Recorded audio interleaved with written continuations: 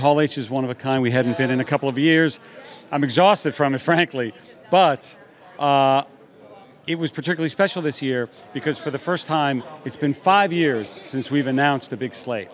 We haven't been talking about anything we've been working on.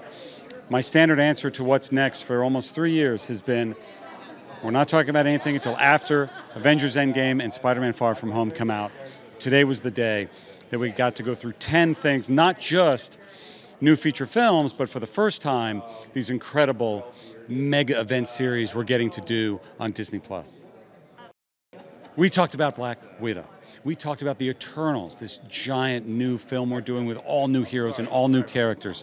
We talked about the Falcon Winter Soldier mega series coming to Disney Plus. We talked about WandaVision, the great series coming to Disney Plus. We talked about What If, the first animated series ever from Marvel Studios. We introduced Jeffrey Wright as the uh, as the voice of the Watcher. On the WandaVision panel, we brought Teyonah Parris as the adult Monica Rambeau, who was a little girl you met earlier this year in Captain Marvel.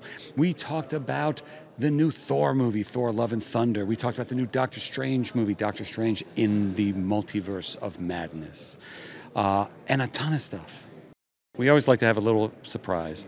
And the panel was full of surprises, but at the very end, we decided to do one more surprise, and incredibly, two-time Academy Award winner Mahershala Ali stepped out on stage. We were all wearing our Widow hats that we got when we debuted Amazing Widow footage. He brought his own hat, and he put it on, and it said Blade, and revealed that he's now playing Blade in the MCU.